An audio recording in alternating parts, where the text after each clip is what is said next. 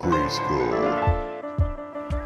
you. And you say you said devaluation stage. Can you describe Yeah. that or tell us about that? Yeah, yeah. So basically, the stage of narcissistic abuse, when you're dealing with a narcissist, there's three stages. So you have the the idealization stage, which is you know where they groom you, they love bomb you, so they're showing you all this love and kindness and care and attention. It's just it's overwhelming in a sense. Sometimes it can be addicting for some of us that may have not got that type of love and attention when we grew up, you know, from our parents and so we can fall in love with it. I think that's kind of it, that kind of got me just a little bit, you know, but um, and that can happen for victims and survivors too. But anyway, so you have that phase, and that phase can last for as long as days, months, years. It really just depends on the individual target, right? And then you have the devaluation stage. And this is when the narcissist, because they put you on that pedestal, right?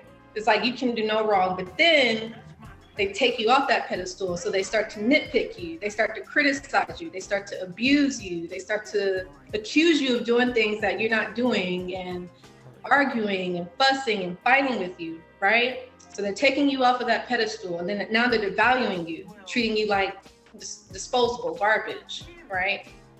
Then towards the end, this is the uh, the discard phase where they discard you, they may ghost you, they may stonewall you, so they may leave the door open, meaning like they may not give you a closure text, or they may say they're sorry, or they may not apologize, or they may not just give you that, you know, something that you need in order for you to like to let the situation go. They don't give it to you, you know, because they know that you're going to be thinking about them, you know, and you you need that closure, and they don't give that to you on purpose. So it's all conscious activity uh, with the narcissist. Yes. And uh, are there other pe- people with other sorts of disorders that can be mistaken from narcissists that may have similar behaviors? Um, that's a good question. So, as I mentioned before, there's the borderline personality disorder. Um, you know, they have the the psychopaths. Um, what else? They have many other ones. Like they have a, a antisocial personality disorder. You know, and um, I believe I think there's another one called the his the histrionic uh, personality disorder as well, and what else? The sociopaths. How do we relate this to hip hop? I mean, does, does that, Well, yeah. So gonna say like a lot of that stuff sounds like, oh man, like a lot of rappers have this then, right? That's like you go Yeah, into I mean, a it's- battle, you gotta be like, you know, if you go into a battle, in some cases it's like, oh, I don't care, oh, I'm coming for your jugular, oh, ah, I'm the best, you're not, Right. you know, Yeah. like I was, I don't know how I can, how I feel about that, cause I, I started thinking about like, you know, that. But I think just in general, like with hip hop artists, they not all, but I feel like some of them have to, I guess, quote unquote, come up or do certain things in order to get like a record deal or to sell music. And sometimes they may try to like be somebody that they're not, or they may have to behave in a way, you know, that may be offensive towards others to get what they want. I don't know. It's just something about the industry. I'm Not saying everybody, but it's just you have to sometimes be like a jerk. Sometimes, you know. Not and I'm not saying everybody. I'm not saying everybody.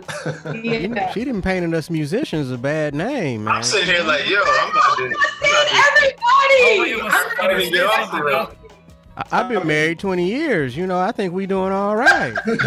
I'm waiting for somebody to say something, man. but Bear, she did say most narcissists don't recognize when they are narcissists. So, I mean, I could be delusional, right? I mean, if you, I think it has something to do if you choose the word villain for your title, that might might be enough.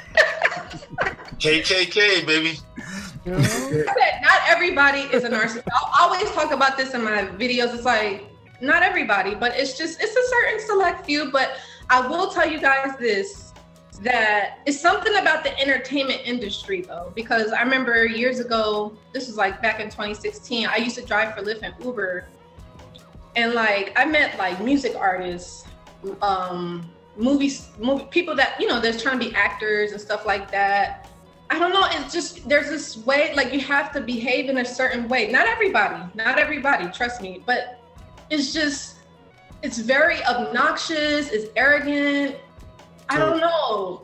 It's It's- kind of my Jordan rule, right? Like you, you have to have some of that in you to You, get. you got to, but it's like some people. I think they take it to the extreme, and some of them recognize it, and others of them like they need people to tell them like, "Yo, like you need to not behave that way because you're like hurting these people." And then some, like I said, some will recognize it, and then others will be like, "I don't care. Like I gotta make this money, or I gotta get this record deal, or I gotta get on this scene, this movie scene, or whatever." You know, so.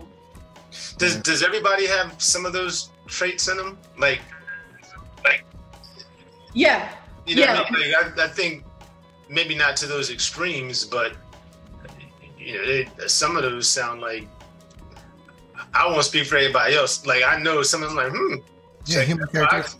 Whoa, look at that box. Check that one too. Should I go take a test? Again, I got six out of ten. What's that mean?